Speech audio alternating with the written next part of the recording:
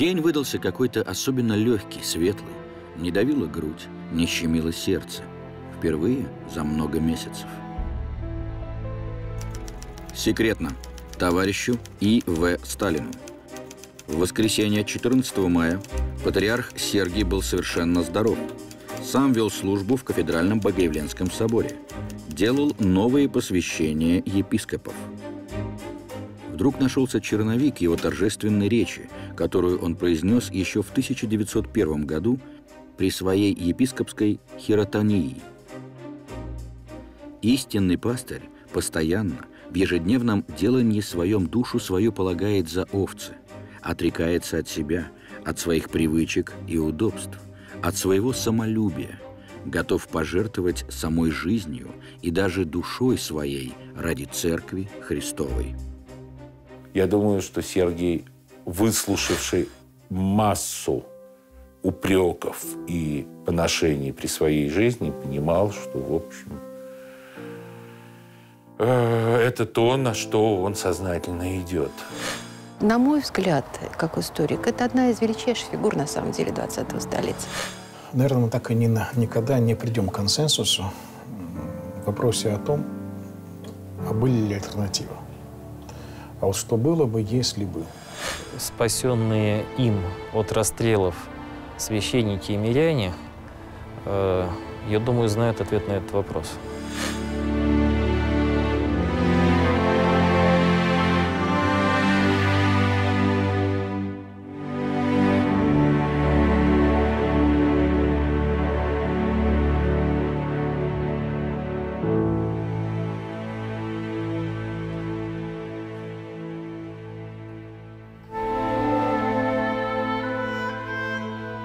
Он вдруг увидел, что давно наступила весна. В крошечном садике за домом в полную силу цветет сирень. И вспомнилась другая весна, почти полвека назад. В 1890 году, окончив Санкт-Петербургскую духовную академию и блестяще защитив кандидатскую диссертацию, 23-летний иеромонах Сергий должен был остаться при академии, делать научную карьеру. Но вместо этого – вдохновленный знаменитым миссионером, апостолом Японии, епископом Николаем Касаткиным, он подал прошение направить его в русскую духовную миссию в Токио. И вот именно в Японии Сергий делает очень важные выводы, которые потом он применит в Советском Союзе.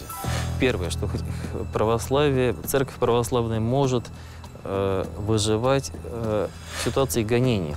Во-вторых, Сергий в Японии увидел, во что вырождается катакомбное христианство.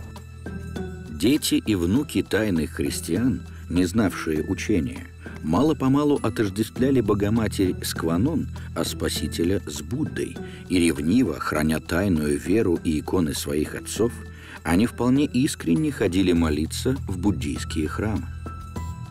Служение молодого иеромонаха так как и служение солдата, оно подчиняется священноначалию приказу. А, из России приходят указания о возвращении, и дальше он служит в Афинской церкви посольской, потом возвращается а, в Петербург. И вот там, в Афинах, э, ему э, довелось узнать подробно о том, как выживала Греция под игом Османской империи. В 1821 году во время восстания грек, Вселенский патриарх Григорий V предал всех восставших самой жуткой анафеме, которую можно было придумать. Только для того, чтобы султан не вырезал христиан, живущих в Стамбуле. Семинаристы этого не знали. И в XIX веке в том числе. Но патриарх Сергий, который жил на Ближнем Востоке, он эти истории знал. И поэтому просто вот этот вот подисламский опыт – кабальной зависимости перенес э, под нов... в условия нового советского ига. Вот и все. Те страшные события, которые обрушились на страну и на церковь э, с приходом нового исторического периода нашей жизни, октябрьские события, он э, во многом понимал, мне кажется, лучше, чем другие.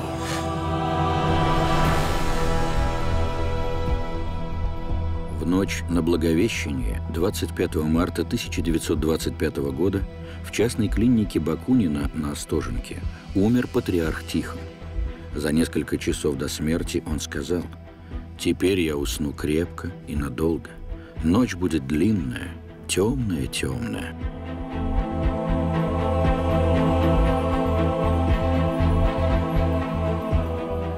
В стране разворачивалась грандиозная антирелигиозная кампания. Закрывались монастыри, разрушались и разграблялись храмы, вскрывались мощи святых. Тысячи священнослужителей были арестованы, отправлены в ссылки, расстреляны. Нам во что бы то ни стало необходимо провести изъятие церковных ценностей самым решительным и самым быстрым образом, чем мы можем обеспечить себе фонд в несколько сотен миллионов золотых рублей. Чем больше число представителей реакционного духовенства и реакционной буржуазии удастся по этому поводу расстрелять, тем лучше. На момент кончины святейшего патриарха из назначенных им трех преемников на свободе оставался только один – митрополит Крутицкий Петр, Полянский. Он и принял на себя обязанности патриаршего местоблюстителя. 9 декабря 1925 года митрополит Петр также был арестован – по его распоряжению заместителем местоблюстителя Патриаршего престола стал его бывший однокурсник и давний друг, митрополит Нижегородский Сергий Старогородский. Митрополит Сергий отчетливо понимал, что власть, контролирующая страну, она есть. Значит, с этой властью надо считаться, и не просто считаться, а, э, надо э, сохранить церковь в, в условиях, когда эта атеистическая власть является правящей, и другой нет. Мы должны бороться с религией. Это азбука всего материализма и, следовательно, марксизма. Никогда в истории э, не было настолько тоталитарного и устойчивого режима антихристианского, как в Советском Союзе. Когда Римская империя объявила войну христианам, то, ну, во-первых, сама эта империя была, так сказать, любительской по меркам 20 и 21 века. Там не было такого аппарата административного, аппарата слежки, контроля повседневных.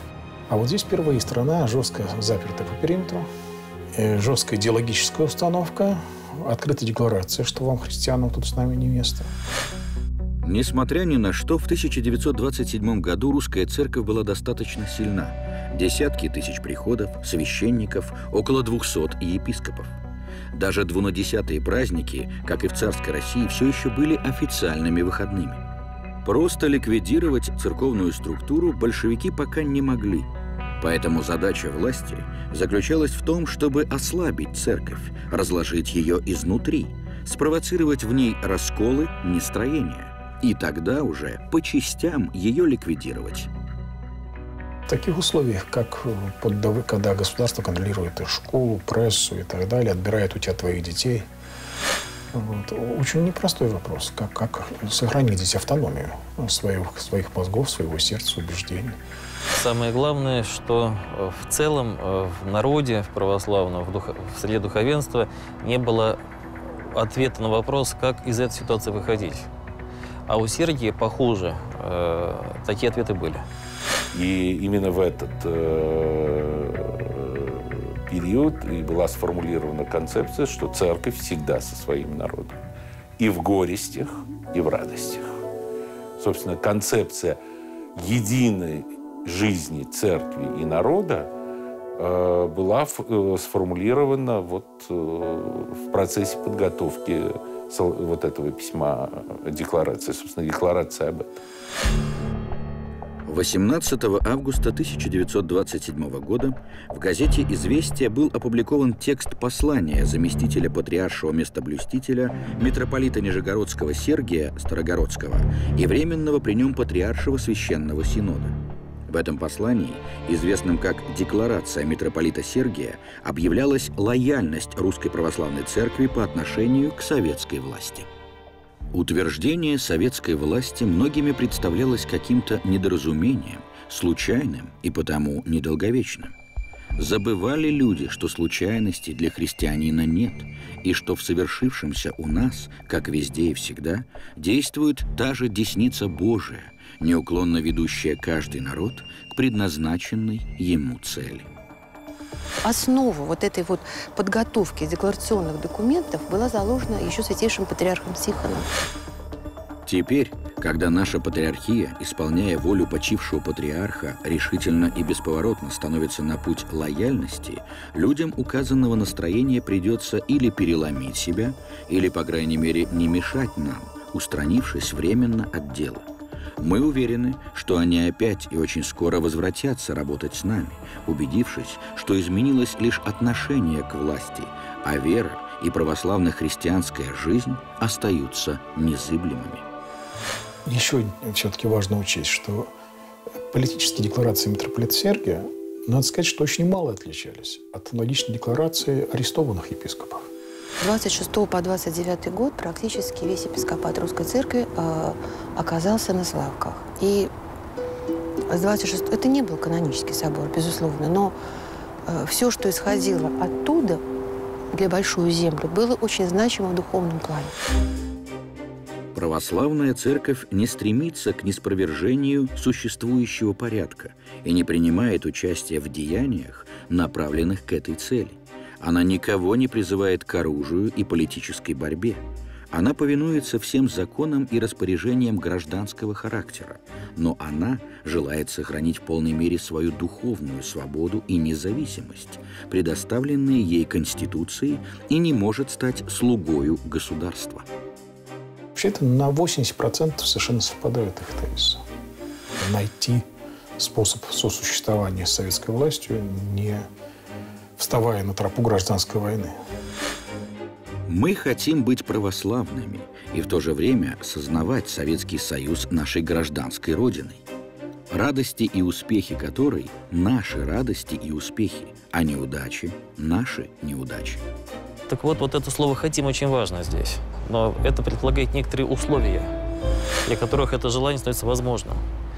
А мы действительно хотим э, считать радости нашей Родины нашими радостями. Но если они совпадают э, сказать, с Евангелием, это был компромисс между э, необходимостью быть легитимными и легальными э, в безбожном советском государстве, с одной стороны, и все-таки сохранить э, суть христианской веры, сохранить э, свободу молитвы и э, литургического служения. Много лет назад моя коллега неожиданно мне позвонила, говорит, ты знаешь, я нашла документ, который, наверное, тебе будет интересен. Он датирован 28 годом осенью. Смысл документа в следующем, что мне известно, пишет Бутурлинский епископ, что митрополит Сергий находясь в тюрьме, дал список Тучкову э, из 28 человек, которые должны быть освобождены в случае подписания им декларации. Я в этом списке есть. Я знаю, что 14 уже получили свободу. Я был приговорен к расстрелу. Я сидел в камере с приговоренными. Из нас ежедневно брали определенное количество, и мы их больше не видели. О, это была тяжелая ночь, когда я ждал следующего дня, дня моей смерти. Но тут патриарший местоблюститель владыка Сергий подписал бумагу, в которой говорилось, что по законам советской власти церковь преследованию не подвергается. Это спасло мне жизнь. Расстрелы были заменены ссылкой. И таких людей, которых из расстрельных камер перевели в лагеря и в ссылки, э, были десятки тысяч. Надо полагать, что несколько лет э, относительной свободы от жестких гонений удалось выиграть ценой этой декларации для э, духовенства и мирян нашей церкви. Первоначальная реакция на декларацию была сдержанной. Но спустя несколько месяцев, когда митрополит Сергий по требованию властей стал снимать с кафедр и увольнять на покой арестованных архиереев или перемещать епископов на другие кафедры, стала формироваться оппозиция митрополиту Сергию, так называемые «непоминающие».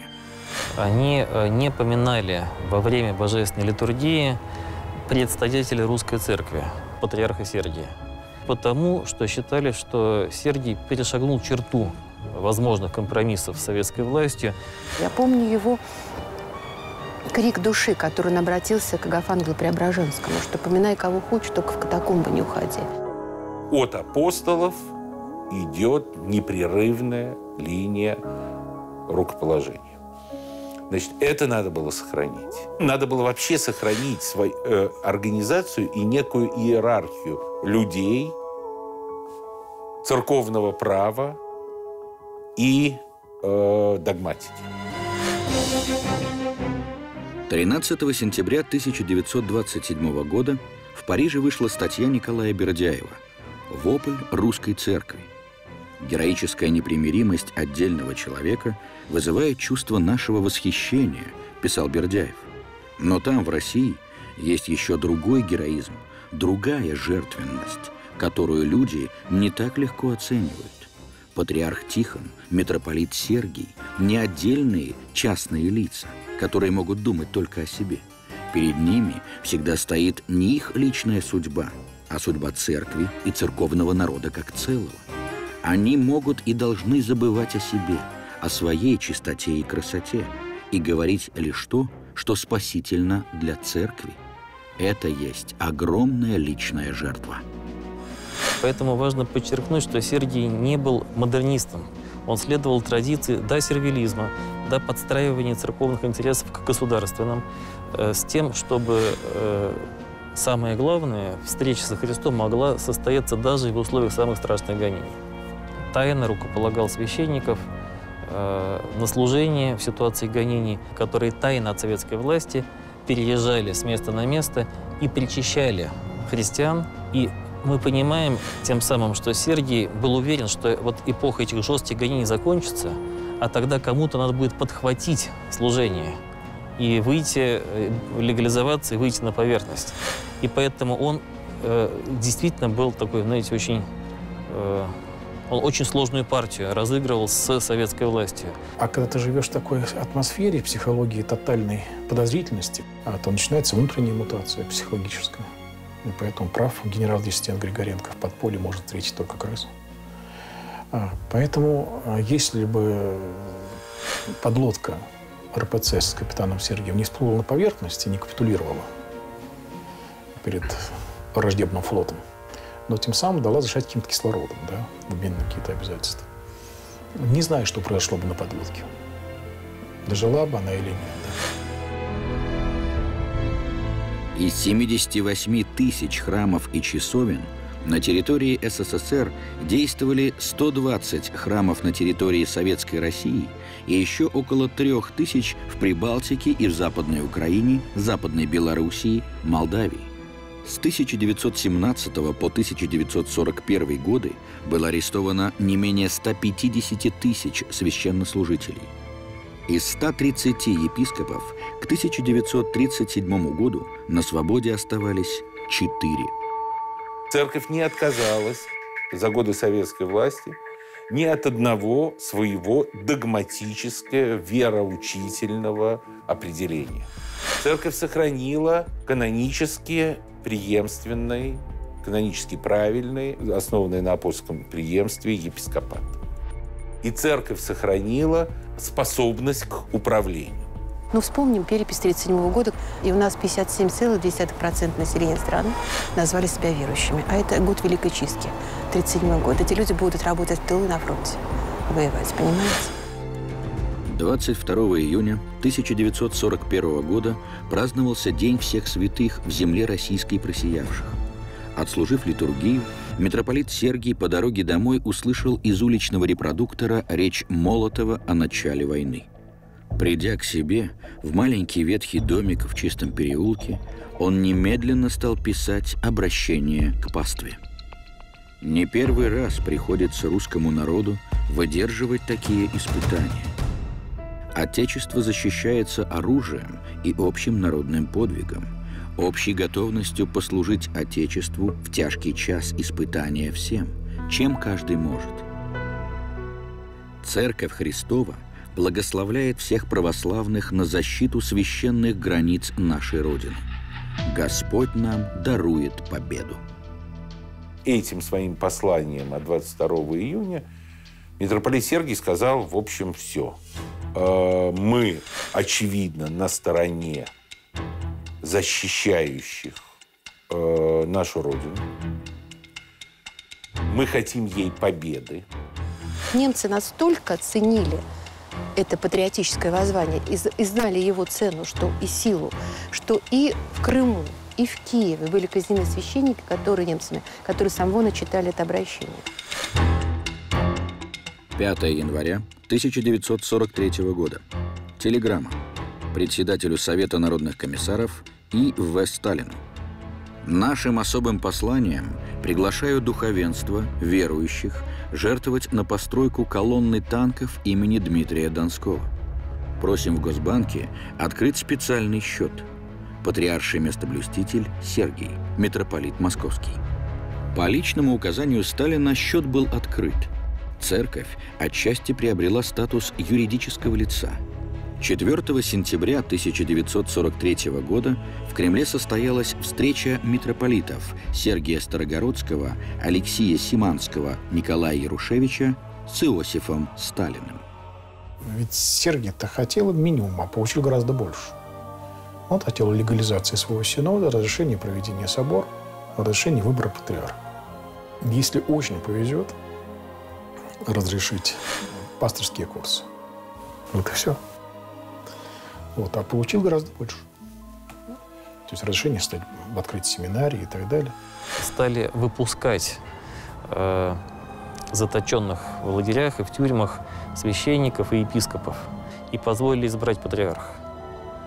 Но в этом, безусловно, э, были и политические расчеты. Дело в том, что союзники, а именно Черчилль и Рузвельт, требовали от Сталина э, уважать свободу религий.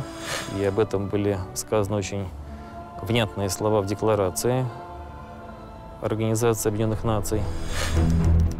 Заявление Сергия Старогородского Иосифу Сталину. Собор архиереев Русской Православной Церкви своим единогласным решением 8 сентября постановил присвоить мне, как главе Русской Православной Церкви, титул Святейшего Патриарха Московского и всея Руси, о чем имею долг донести правительству СССР к сведению. 90-е годы очень активно выстраивалось именно так отношение к митрополиту Сергию. Выстраивалось во многом от противного, апофатически. Вот у нас э, среди э, тех, кто находился тогда в катакомбах, много святых, много уважаемых людей. Да. Они Сергия не признавали? Нет, значит, сергианство – это плохо. А, мне кажется, все это изменилось э, во многом после э, собора 2000 года, когда состоялась канонизация новомучеников, вдруг выяснилось, что те, кто поддерживал Сергия, они такие же мученики.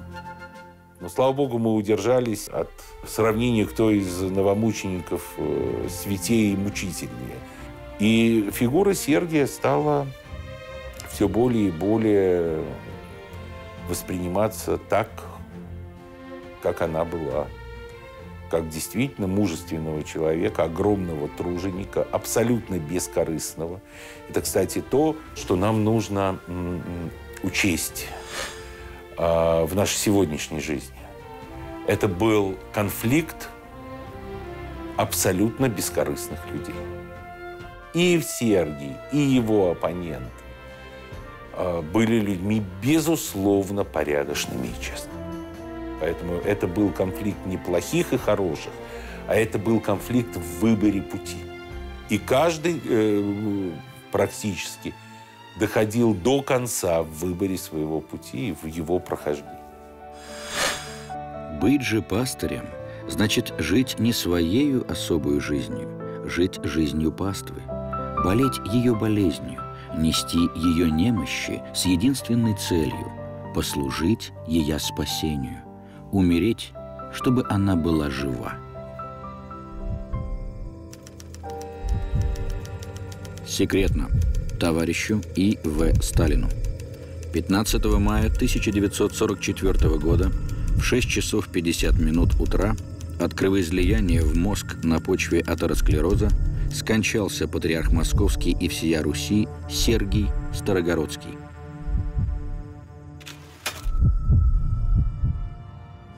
судя по тому, что мы можем с, вами снимать фильм о нем, ему в целом удалось эти задачи решить достаточно успешно.